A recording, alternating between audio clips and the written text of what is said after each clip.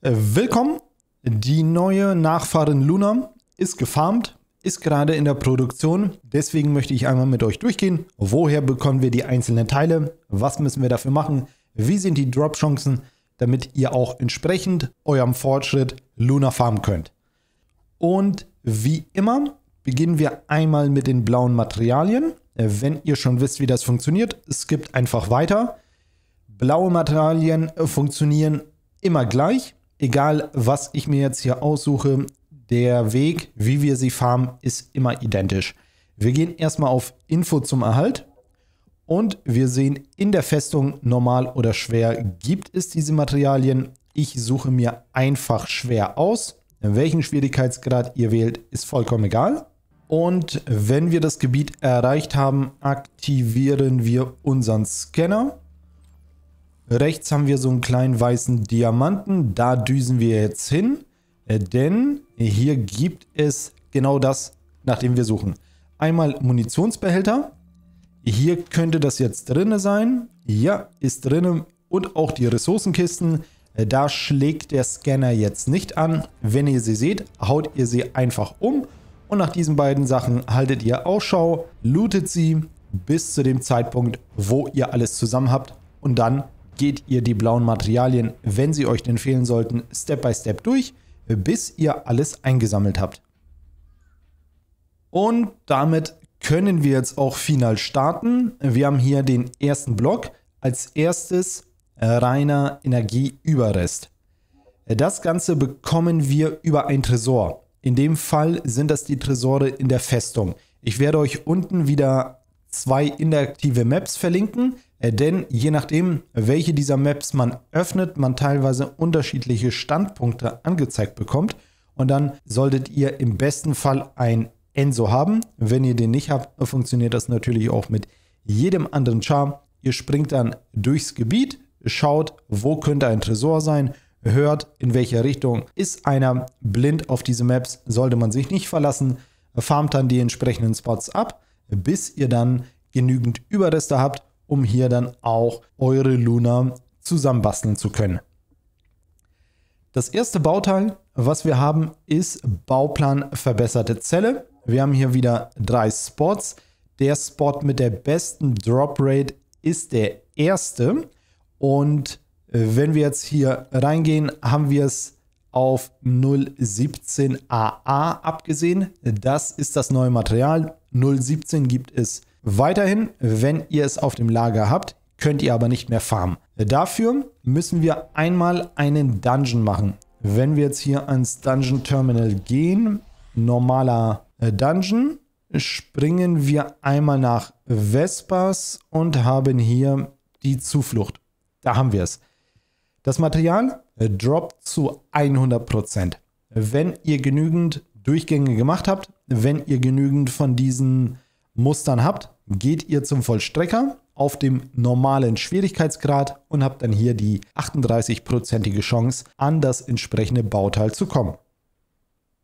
Eine weitere Möglichkeit ist, wenn wir jetzt hier an den Schalter gehen, äh, denn Schlucht der weißen Nächte, auch ein schöner Farmspot, haben wir die Möglichkeit über diesen Sondereinsatz das Muster 0 38 AA zu erhalten. Auch hier haben wir wieder eine 38-prozentige Chance. Bei Welle 2, 6 und 10 können wir jeweils eines dieser Muster erhalten. Dieser Einsatz dauert allerdings ein bisschen länger, ist vielleicht auch ein bisschen schwieriger, aber hier habt ihr dann auch nochmal die Möglichkeit, an dieses Muster zu kommen. Und wenn ihr genug dieser Muster habt, müsst ihr den Pyromanen auf normal besiegen. Wenn ihr normal durch habt, sollte er kein Problem mehr sein. Allerdings haben immer wieder einige von euch Probleme mit dem Pyroman. Deswegen habe ich das aufgrund dieses Einsatzes, aufgrund des Pyroman als zweites gelistet. Das Beste und Einfachste ist für mich weiterhin der Dungeon. Und es gibt auch noch einen dritten Spot, wo wir an das Bauteil kommen können. Allerdings haben wir dort nur eine 10%ige Chance. Dafür gehen wir in den Ekosumpf und hier links haben wir das Sumpfland. Hier oben haben wir einen Außenposten und bei diesem Außenposten erhalten wir das Muster. Allerdings, wenn ich einmal komplett nach unten gehe, 081 AA, äh, das ist das Muster, auf das wir es abgesehen haben. Wir müssen es also auf schwer machen. Ihr braucht unbedingt eine Sharon und wenn ihr dann hier das entsprechende Muster habt, könnt ihr hier im Sumpfland zu diesem Fusionsreaktor laufen und hier dann quasi mit den entsprechenden Splittern und ein wenig Glück zu 10% das Muster in das Bauteil umwandeln. Kommen wir zum zweiten Bauteil und da brauchen wir hochwertige Energieüberreste.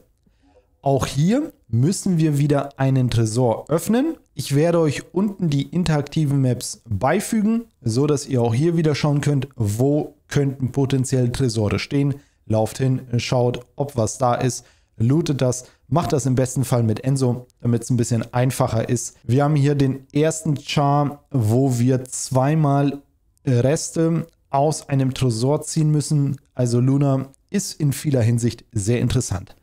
Und dann haben wir natürlich wieder einen Bauplan. Hier haben wir nur einen einzigen Spot, wo wir Muster farmen können, die eine 32-prozentige Chance zur Umwandlung haben. Und dafür gehen wir wieder an den Schalter äh, für die Dungeons, müssen dieses Mal auf schwer unterwegs sein. Äh, dann haben wir im unfruchtbaren Land das unbekannte Labor. Hier haben wir es. Und das Schöne ist, hier sind das direkt die Muster. Wir müssen nichts umstellen und jetzt sehen könnt, 32-prozentige Chance, äh, Luna zu bekommen. Wenn wir genügend Teile haben, müssen wir die Leichenbraut auf schwer machen. Das ist der zweite Boss im schweren Schwierigkeitsgrad. Ist mittlerweile nicht mehr so das Problem. Ich habe da gestern einiges gefarmt und wir sind nicht ein einziges Mal gestorben. Also diesen Dungeon könnt ihr auch ruhig öffentlich machen dann ist es eventuell auch leichter für euch. Wenn ihr genug Muster habt, geht ihr zur Leichenbraut auf schwer und könnt dann hoffentlich schnell dieses Muster in das Bauteil umwandeln. Möglichkeit Nummer 2 hat jetzt allerdings nur 10% Chance auf Erfolg. Schlucht der Weißen Nächte, da müssen wir hin. Und hier haben wir den Berggipfel. Da ist er. Abgesehen haben wir es auf das Muster 098AA. Außenposten 098AA erhalten wir, wenn wir diesen Außenposten abschließen. Wir müssen nicht mit Sharon infiltrieren und wir haben auch nicht die Chance auf einen Doppeldrop. Könnt ihr auch öffentlich machen. Diese Spots werden gerade zum Release von Luna sehr häufig abgefarmt. Wenn ihr genug Muster habt, düst ihr dann hier unten zu diesem Spot, könnt das Ganze hier umwandeln wenn ihr die entsprechenden Splitter habt. Aber 10% ist die Chance für ein Bauteil aus dem Muster, was wir jetzt hier quasi bekommen, 98 AA. Und die dritte Mission ist die einfachste, hat allerdings nur 6% Chance auf Erfolg, also zu 6% können wir das Bauteil erhalten. Dafür düsen wir in den Ekosumpf, haben hier wieder das Sumpfland und der Außenposten, an dem wir eben waren, da müssen wir hin. Wir müssen das Ganze auf normal machen. Und jetzt, wo ich das Ganze umgestellt habe, sehen wir, dass wir für den Abschluss das entsprechende Muster 020 AA erhalten. Und wenn wir mit Sharon infiltrieren, bekommen wir das Ganze nochmal. Also wir haben eine Chance auf einen Doppeldrop. Allerdings haben wir hier nur 6% auf Erfolg. Im Sumpfland haben wir auch entsprechend den Fusionsreaktor, wo wir das Ganze umwandeln können. Also vom Schwierigkeitsgrad das einfachste. Ohne Sharon könnt ihr das auch machen, aber 6% sind ziemlich wenig. Und damit sind wir hier schon beim dritten Bauteil und das spezielle Biometall äh, wird ein wenig schwierig sein zu erhalten, denn Infos zum Halt. Äh, früher habe ich das bei den Außenposten gefarmt. Habt ihr wahrscheinlich auch in einem anderen Erhalt-Video gesehen. Hier haben wir Spot Nummer 1, Hagios Düdenbasis. Hier haben wir Spot Nummer 2, Hagios vorgeschobene Basis. Also im Endeffekt liegen die beiden Gebiete direkt nebeneinander. Wir müssen nur den Außenposten abschließen. Eine Minute Cooldown. Vor dem Patch hat das wunderbar funktioniert. Wenn man auch hin und her geswitcht hat, hat man da ordentlich was bekommen. Jetzt ist es so, ihr bekommt pro Durchgang nur zweimal das Biometall. Das ist sehr wenig. Wenn ihr 25 Minuten Zeit investiert, könnt ihr es über diese beiden Außenposten farmen. Ihr könnt natürlich auch die anderen Spots hier ausprobieren und schauen, ob ihr da mehr Glück habt. Bei den Fusionsreaktoren werdet ihr auf jeden Fall mehr aus einem Durchgang ziehen können. Wir nehmen einfach mal hier oben den. Den habe ich auch selber durchgeführt. Wenn ihr diesen Fusionsreaktor auslöst, spawnen drei Elite-Gegner. Auf normal sind die gar nicht so schwer. Wenn ihr sie umhaut, bekommt ihr von jedem zwei bis vier Biometall. Bei mir waren es eher zwei, drei. Ein einziges Mal hatte ich vier gehabt von einem, aber hier ist die Ausbeute am höchsten. Die entsprechenden leeren Splitter bekommt ihr von diesem Spot. Wenn ihr auf schwer schaltet, das machen wir jetzt einmal, müsst ihr das Ding nur ein einziges Mal machen und habt dann genügend Materialien, um äh, das hier auf normal zu machen. Wenn ihr das zweimal macht, könnt ihr das hier auf schwer machen, bekommt dann noch mehr Ausbeute, aber macht es ruhig auf normal. Der Unterschied war jetzt für mich nicht ganz so groß. So kommt ihr dann auch am schnellsten und bequemsten ans Biometall den Reaktor für die Splitter. Da braucht ihr zwei Minuten. Der Reaktor, wo ihr die Umwandlung macht, vielleicht auch noch mal eine Minute. Am Ende des Tages ist es zeitlich nicht ganz so der große Unterschied, aber es ist meines Erachtens nach ein bisschen bequemer, angenehmer und auch ein anderes Feeling, wenn wir das Ding einmal abschließen, dass wir dann vielleicht 10 als Loot bekommen und nicht 2 das ist sehr demotivierend und frustrierend. Und damit kommen wir hier auch schon zum letzten Bauplan. Hier haben wir wieder drei Möglichkeiten, um an diesen Bauplan heranzukommen. Allerdings sind das alles Fusionsreaktoren. Zweimal 38-prozentige Chance, einmal 20-prozentige Chance. Die 20-prozentige Chance haben wir hier in der Mitte. Die anderen beiden sind 38 Prozent. Das erste, was wir jetzt hier haben, ist das Material 015AA. Das habe ich auch selber gefarmt. Bekommen wir auf den normalen Schwierigkeitsgrad, wenn wir diesen Außenposten abschließen. Wenn ihr eine Infiltration mit Sharon durchführt, habt ihr hier die Chance auf einen Doppeldrop. Wenn ihr genügend eingesammelt habt, dann düst ihr hier einmal zum Fusionsreaktor, könnt das Ganze hier umwandeln, auch wenn die Chance 38% ist. Ich musste es schon ziemlich häufig machen, um hier dann das Bauteil rauszubekommen. Die zweite Option für 38-prozentige Drop-Chance ist, wir gehen in die Festung, haben hier die Verteidigungslinie und den Farmspot, der sehr beliebt war für Wallby oder mit Wallby. Das ist der Außenposten. Hier müssen wir auf Normal stellen. Und auch hier bekommen wir wieder für den Abschluss das entsprechende Material. Wir bekommen oder haben die Chance auf einen Doppeldrop, wenn wir mit Sharon eine Infiltration machen. Und wenn ihr hier einiges eingesammelt habt, düst ihr nach links. Der Spot ist hier gleich um die Ecke und könnt das dann hoffentlich auch hier direkt umwandeln. Der dritte Spot ist eigentlich nicht zu empfehlen, weil die anderen beiden auf normal sind und wir die Möglichkeit auf einen Doppeldrop haben. Aber der Vollständigkeit halber düsen wir einmal nach Vespas. Und ganz unten haben wir den Holzplatz. Wir müssen das Ding leider auf schwer farmen. Wir haben es abgesehen auf 071 AA. Das Ganze droppt nur, wenn wir eine Infiltration mit Sharon machen. Also wir haben erhöhten Schwierigkeitsgrad, wir haben eine Infiltration mit Sharon und wir haben nicht die Möglichkeit, einen Doppeldrop zu bekommen. Deswegen ist das Ganze hier nicht zu empfehlen. Umwandeln könnt ihr das hier oben bei den Ruinen, hier haben wir den entsprechenden Fusionsreaktor, wo ihr die 71AA hoffentlich in ein Bauteil umwandeln könnt, gleich beim ersten Mal. Und damit wären wir auch schon beim letzten bei Lunas Code. Auch hier haben wir wieder drei Möglichkeiten, an den Code heranzukommen. Option 1 hat eine 32-prozentige Chance, den Code zu erhalten. Option 2 hat eine 3-prozentige Chance, den Code zu erhalten, nicht zu empfehlen. Und Option Nummer 3 hat eine 10-prozentige Chance, den Code zu erhalten. Gehen wir alles gemeinsam durch. Für die erste Option, ihr seht es hier schon, Sumpfläufer schwer.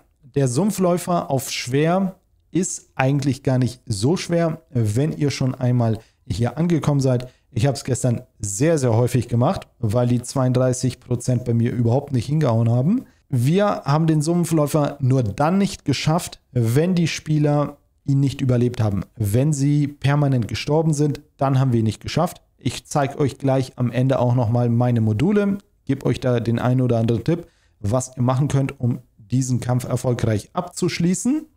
Äh, doch zunächst müssen wir einmal ans Terminal äh, für die Dungeons schalten auf schwer. Wir brauchen nämlich auch das Muster.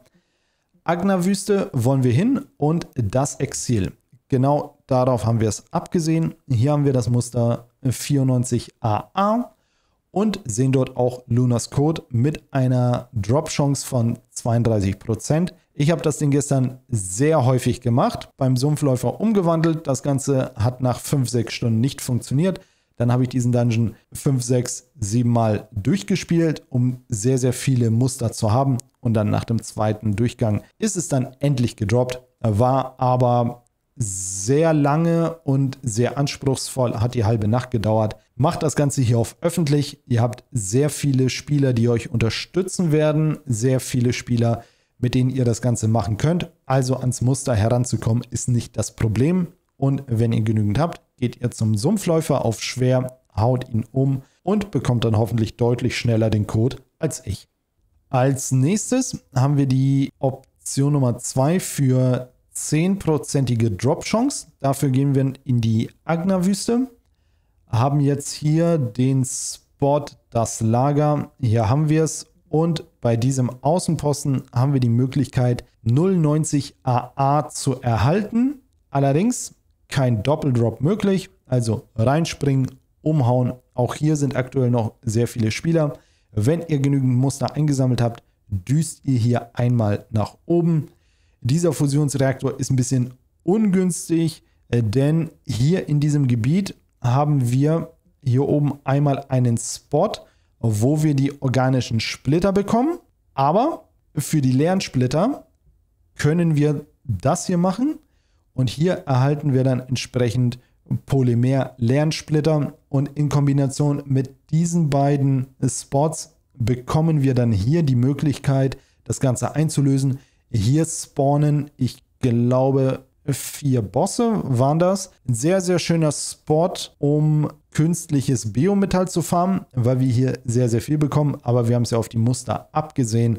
Mit 10%iger Chance habt ihr dann die Möglichkeit, das Muster, was hier beim Außenposten bekommt, hier direkt umzuwandeln. Aber die leeren Splitter und Splitter zu farmen, ist nicht ganz so angenehm.